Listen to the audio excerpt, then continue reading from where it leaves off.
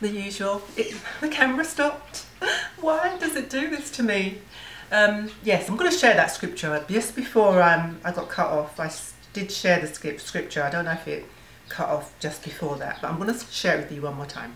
So this, if you're joining me right now, I have a video that is preceding this and it all should be one video. Okay, so if you go back, you'll, you'll see that.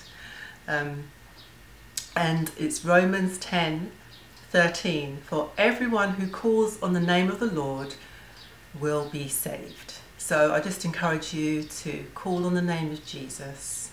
Call on him, ask him, Lord Jesus, what do I need to do to be saved? Ask him, also say to him, forgive me, Lord, for um, going my own way. Forgive me, Lord, of my sin.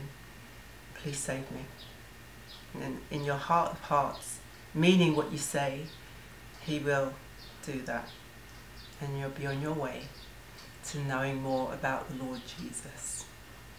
All right, thank you everyone for watching. And um, what I'm going to do is, um, I haven't seen anyone do this. Now, um, I do my own nails.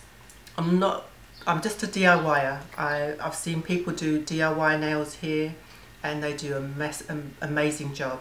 Um, and I'm taking my, I've actually taken some of my nails off to do, I'm doing the prep so that I can do my nails again.